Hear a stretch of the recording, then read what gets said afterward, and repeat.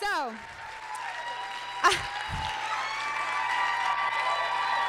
okay, so I was living a car free life before it was cool. No joke. I went to college in Bellingham, Washington, a beautiful university, and I lived out in the county. I'm talking about way out the big box stores by like the border of Canada, really far away. And uh, as you can imagine, public transportation was amazing. A mile from my house, I had a bus stop, and the bus went by once the hour, on the hour, from 6 a.m. to 8 p.m. Oh yeah. I would uh, leave class about 5:30 p.m. So I would party hardy from 5:30 to 7:45, right before doing the mad dash to catch my bus. Fortunately, I've always been blessed with the ability to talk quick, dance quick, and drink quicker. So I was able to get all my business done just in time to head home. It's good life.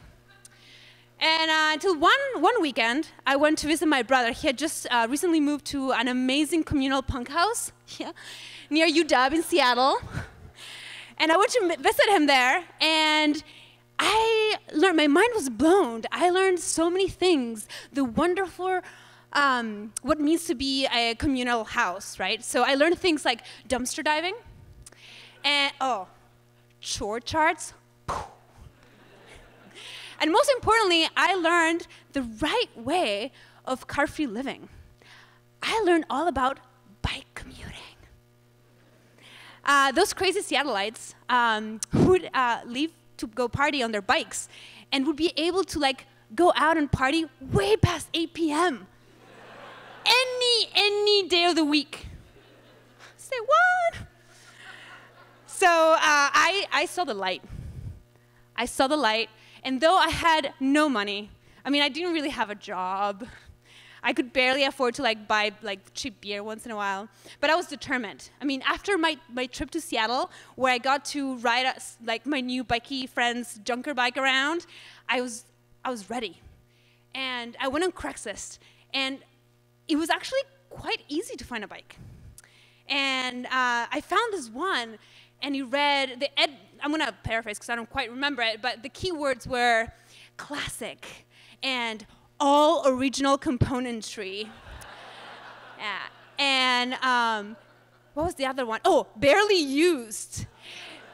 And it was in mint green condition, and it was only $75. Now, from your laughter, I, I think you got the code words, you know? Barely used, you know, has been sitting in a moist basement for the past 15 years. Classic, meaning it was a great department store 1990 mountain bike. And um, what was the other one? Oh, original componentry, yeah. Never oil chain and dry rot tires. I had no idea what that meant. Didn't care. And it was like green, so why not?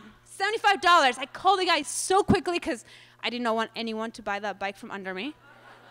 right? And once I got it, I like took it to my new bikie friends and I was like, check it out. Yeah. And to, to my surprise, they were a little nervous.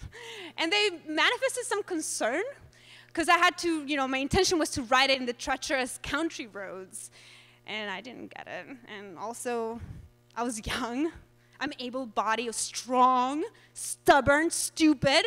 And most importantly, I was gonna let no dude tell me what I could or could not do. Fuck that shit. Yeah. Uh, so, so I one morning I got up really early, and there's a few people that have lived with me, so you guys can tell what a feat it is for me to wake up early. So I woke up extra early that morning. Yeah. And I hopped on my bike and I went off. And the first two thirds of the ride were amazing. It was mostly flat. Traffic was interesting. Um, uh, so the route that I had to take because I lived in the county was uh, had had the cyclotrack, and, and, for you guys that don't know, um, county talk for cycle track means uh, mostly sidewalk, and by mostly I mean like it's either sidewalk or like a small um, shoulder. And uh, the fun part is that it dead ended into a Jersey barrier. And, and that led to two freeway entrances. One to go, it was two lane, one to go south and one to go north. So that was an adventure. Yeah. Also, uh, because it's like the only route, it's also the only semi truck route that connects Canada to the United States. Adventure so fun. And now that we're talking about traffic, I might as well tell you about the Costco. Y'all have Smarty Pants phone. If you Google what is the busiest Costco in the whole country, it is that Costco. It had two entrances, and all of the county people and all of the Canadians were constantly going in and out, in and out, in and out, in and out, in and out, in and out, in and out. For dairy, because dairy is really important, and gas, because you can't get dairy without your gas. So, I made it. I made it through. It was amazing. But uh, at the end of that, I, I, arrived close to school, and school, Western is so beautiful. It's this beautiful campus surrounded by trees, and I could see this in a little hill. And I was feeling so good. You know, when you breathe it in, I could smell it. It was victory. It was mine. And I started getting cocky. and I was riding, and then I started seeing acquaintances of mine. I was like, oh, waving like a princess. Hey there, check out my new bike. Yeah, mint green. Um, and I quickly realized, though, that I made a mistake. And my school was not located on a hill, it was located in Mount Everest. And I don't know how to shift. And I'm just like going for it, you know, and I'm going for it, and I'm going for it. I'm gonna take a little pause to explain something. One of the people that I passed was they were walking. Uh, was this uh, friend of a friend who's so cool. I mean, this guy, so cool. He was a science major but he was a DJ. And his hair, yeah, DJ, not lying. His hair was like, like a lion. And he was walking, because that's how people walk, right? He was walking, listening to his music. And when I was on the hill, I thought, hey, hey, what's going on? Taking me out my bike. Paid no attention to me. So by the time I made it to Everest, and I was like really struggle, and like there was just sweat, sweat falling off of me. And I was just going like, nothing's gonna stop me now. Nothing's gonna stop me now. He passed me. As a matter of fact, everybody passed me. I was just going for it, trying so hard. Every single person that I had passed and waved at, they passed me walking faster. And some of the people that hadn't even left their house when I passed in front of it, they just all walked by. Eventually, gravity and I came to an understanding, and I very, with a lot of grace, I decided to dismount. the horror, the walk of shame had begun. And as I was rolling my bike, some really, really kind hearted dude it had to be white, of course, approached me and said, Oh, hey, friend, it seems like you have like a flat tire or something. Can I help you to get you back on the, on the, on the ride, on the road? So I pretended to ignore. It's a pretty, it's a pretty low moment. But I made it, I made it to the school, right? I just triumphed.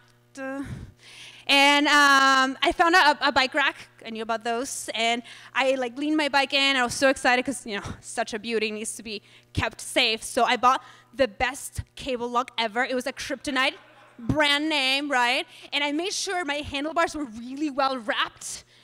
Once I locked it in, you know, no one was gonna take that baby from me. Uh-uh. So I, uh, I struggled that night. I want to fast forward. You don't want to hear the rest. I, um, I really struggled that night. I was like, how, how am I going to do it? Because, you know, like a lady like me does not do the walk of shame twice.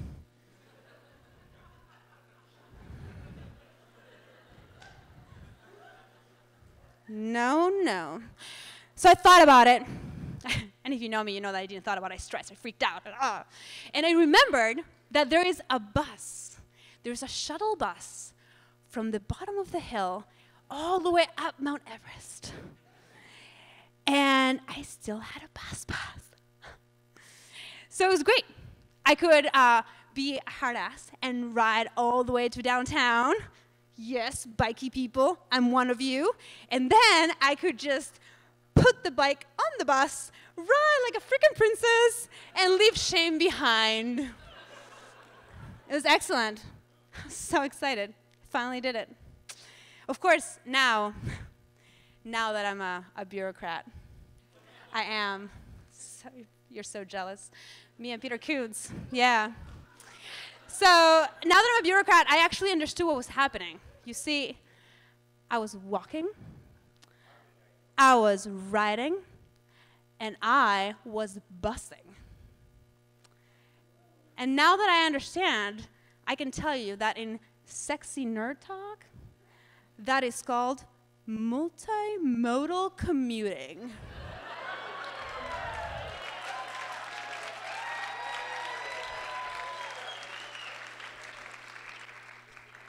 and I was doing it before it was cool.